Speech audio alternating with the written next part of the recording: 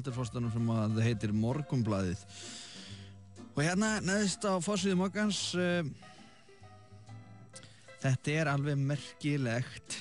Hmm. Ég skil ekki þetta þjóðfélaguna, ég skil ekki þetta þjóðfélag, þetta er Segjum líður tvö. mér, stundum líður mér bara eins og sko yngvar Hrafn, sko líður sko þegar hann er að þylja yfir okkur í, í uppafinu og, og, og, og, og, og Hrafnaþingi sko. Það Já, bara- þegar hann er alveg tristur. Já, og berjandi í borðið og bara skilur ekkert í þessu.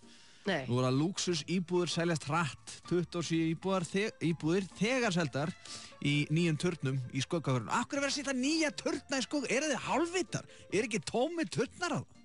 Í alvörni? Það er verið að byggja nýja törna og það er búið að selja 27 luxus íbúðir. Hvað kostar Og þessi eftir íbúður? viku, það er búið að selja íbúðir fyrir tæpa 2 miljardar. Hvað?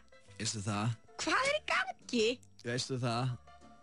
að ég, við eigum bara allt slæmt skilið hérna, hvað svona var það svona, svona, þú veist, peningaflækjur og gjaldróttar og hvað við erum náttúrulega algjörir apar Já. erum, vitum við ekki af því erum við, eins og þegar við varum að gera sko, á, á sjönda áratögnum og svona þá verður að gera tilraunir með apa og svona, það er alltaf verið að senda eitthvað svona vittlisu, láta það að keira bíl og eitthvað svona og þeir, þeir, gera alltaf eitthvað djúðurstvæl og endur með að stúta sér, svo eru sendur upp í geimin og svona, átt að gera eitthvað þar og Já, já. erum við, vitum við ekki að erum við þessar apar, var okkur hent bara á þessu eigi og er bara að vera að fylgjast með okkur eftir að fjarska og sjá hvernig við rekum þjóðfélag Já.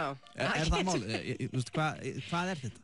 Veistu, Andri, mér finnst þetta bara ágætt skenning. Já, þetta er ágætt skemmt Við erum örglega Við þessi bara apar. vitum ekki betur Nei. Svo er, Andri... Andri- svo, svo rosa hissa að Einar Mikael segi hérna með talandi krumma fyrir utan, með dýrar ekki það er eitthvað tungumál í gangi hérna. Ég, veistu, Andri, ég bara skil þetta ekki. mm.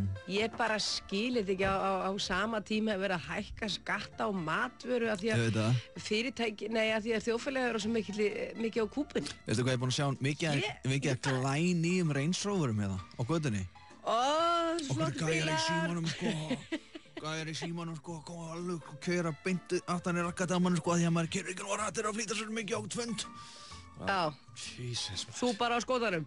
mm. Dísel, skótanum. Jep Já, nei, ég, Andri, ég bara skil þetta ekki heldur. Og tökum dæmi, byrju, nú kemur ég með aðra frétt hérna þessu tengda. Að því að það er búið að selja 27 luxus íbúðir í þessum turniðana í skuggakverfunu. mm. Já. Fleiri sjúklingar og hvern lækni, við vorum nú aðeins að tala um þetta í gær. já, það er allir læknir að fara Já, íslenski lækni að leita annað. Er þeir bara að býða, er, er, eru læknanir, einu Já. menninni með viti og hugsa bara um sig, er við förum bara allir, býðum þetta leið drefst bara og þá kemur eitthvað nýtt líðistæðin. Ég veit það ekki, býtu. Hér segir, þetta er mislæmt eftir læknahópum, það vantar til dæmis fleiri heimilislækna, krabbaminslækna og röntgenlækna, segir Geir Gunnlaugsson, sem þeir eru að bæta þau starfsumhverfi lækna. Hann ætla legur allt á landsbítalanum, það er allt í ruggla á veit það.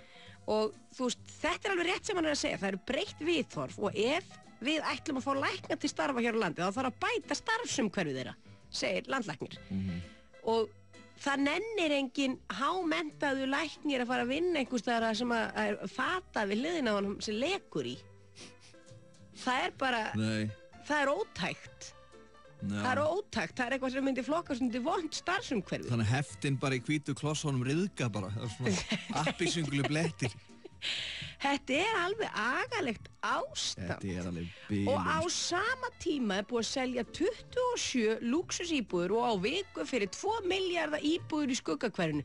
Hvað er í gangi hausnum á okkur? Ekki neitt, ekki Annars neitt. held ég að þú, Andri minn, þurfir ekki örvanda því þegar þínum ferli hér í virkum mótnu líkur, þá verður þú með andra þing.